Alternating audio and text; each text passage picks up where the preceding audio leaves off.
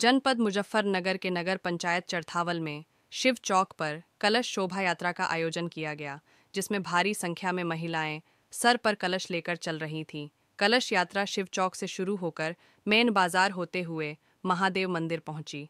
वहाँ पर प्रतिदिन सात दिन तक सुबह शाम पूजन होगा और 8 मार्च को शोभा यात्रा के साथ शिव मूर्ति की एवं शिव परिवार की स्थापना शिव चौक पर प्राण प्रतिष्ठा की जाएगी। कलश शोभा यात्रा में भारी संख्या में महिलाएँ एवं श्रद्धालुगण पहुँचे, जिसमें मुख्य रूप से वरिष्ठ भाजपा नेता अजय वर्मा, बॉबी सिंघल, निधीश गर्ग, उमंग भारद्वाज, संजय शर्मा, आलोक गर्ग, मनीष गर्ग आदि कार्यकर्ता उपस्थित हुए।